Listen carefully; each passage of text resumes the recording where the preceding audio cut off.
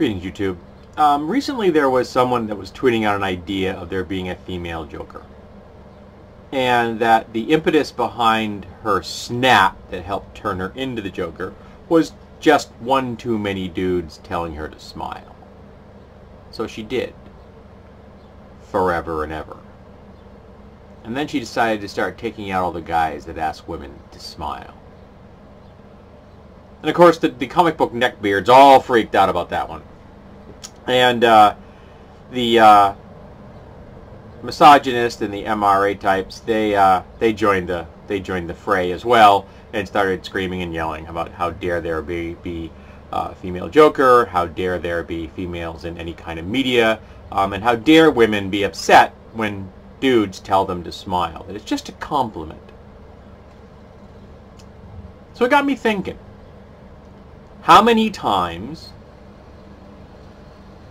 would it take before a guy snaps? How many times would it take some dude or some women on the street to tell you to smile before you stopped laughing it off, before you started getting surly, and before you started screaming and yelling in response. Do you think you could last 12? 50? 100? 1,000? So how many? How many times do you think you could do it? And I want you to imagine all those dudes out there who are currently pondering um, this idea. What if every single one of those guys was bigger, stronger, and carrying a shotgun? So you couldn't respond they posed an imminent, dangerous threat to you. Every single one of them. And you never knew which one was gonna decide that they were gonna yell back or hurt you. So you have to you have to do that metric. You have to do that, that, that judgment call. Do I say anything and run the risk of a verbal or physical assault? do I run the risk of this person following me and verbally harassing me for the next three blocks? Or do I just hunker down, ignore it, and move on? Well, you see, I suffer from mental illness, as I've mentioned before on my channel. and Anxiety, depression, PTSD. And there was a time in my life I didn't smile very often um, because I was deeply stuck in mental illness. And apparently when I don't smile, um, it can intimidate people. And people told my boss that they didn't like the fact that I didn't smile. So my boss told me I had to smile. Yes, actually, a, a boss actually told one of their employees that they had to smile. Now, I should point out that I have never worked in retail.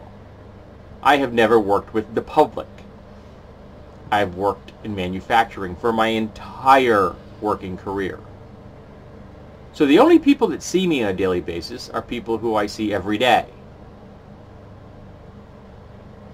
So I was forced to smile because at the time I wasn't mentally healthy enough to tell my boss no. Um, so I just did it.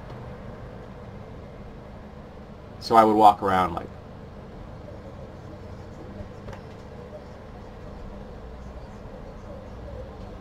And apparently that was good enough for them. Apparently that appeased their need to have someone smile. Nothing in my eyes. Absolutely nothing sincere or genuine about it. They didn't care.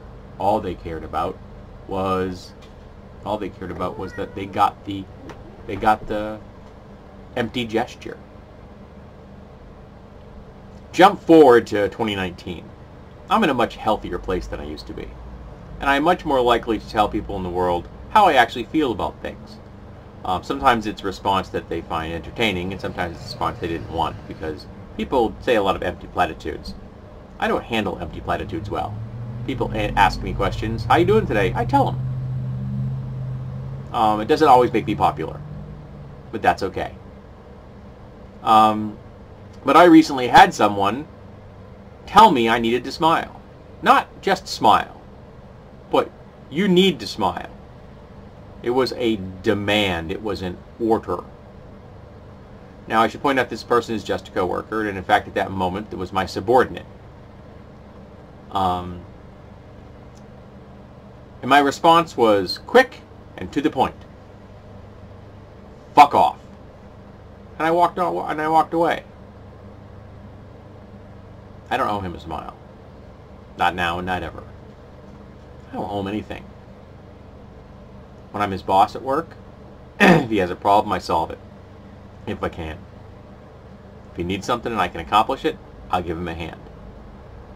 But other than that, he doesn't get to dictate my facial expression, or what I wear, or what color water bottle I use, all of which I have been judged on. Because he doesn't like my clothes, and he thinks that the purple water bottle I use is a feminine color, even though he uses a purple pen every day.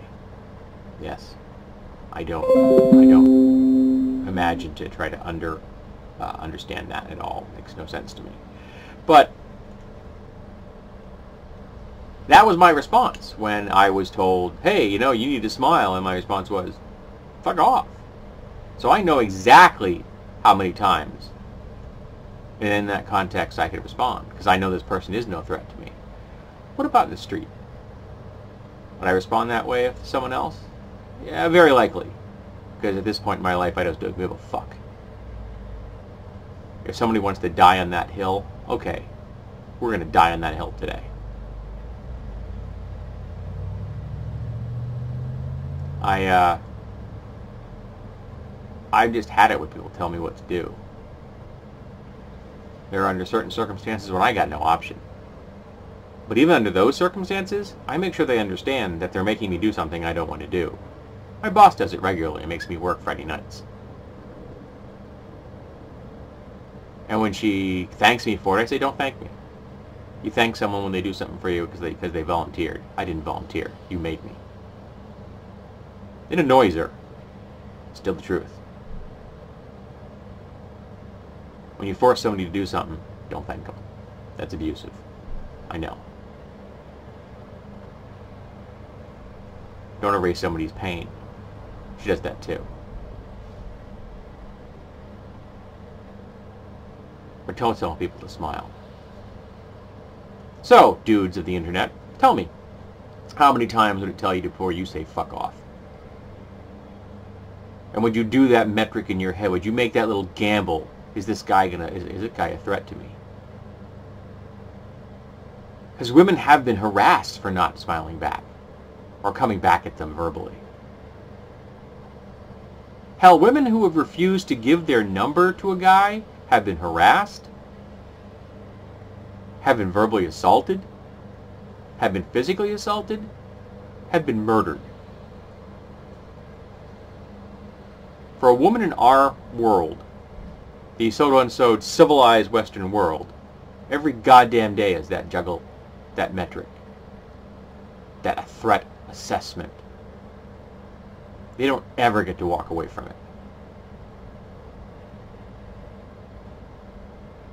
And guys never have to pay attention to it. They ignore it. Because they can. Because they have that privilege.